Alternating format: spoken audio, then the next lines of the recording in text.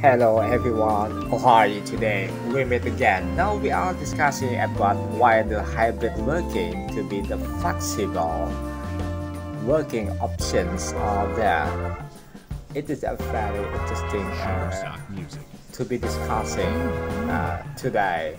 After post-pandemic, most people choose hybrid working is just one form of flexible working to do there are many more available to provide for employees to meet mutually beneficial objectives. Number one, the employees have the me time, time at home after they have worked at office.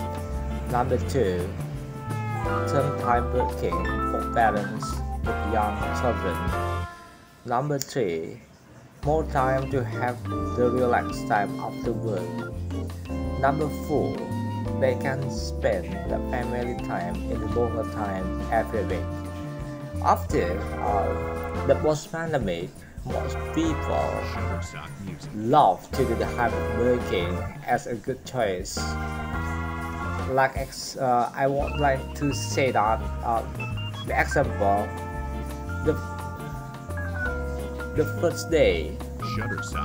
They work at office to do uh, many job subscriptions at office. And the second day they work at home Shutterstock Music.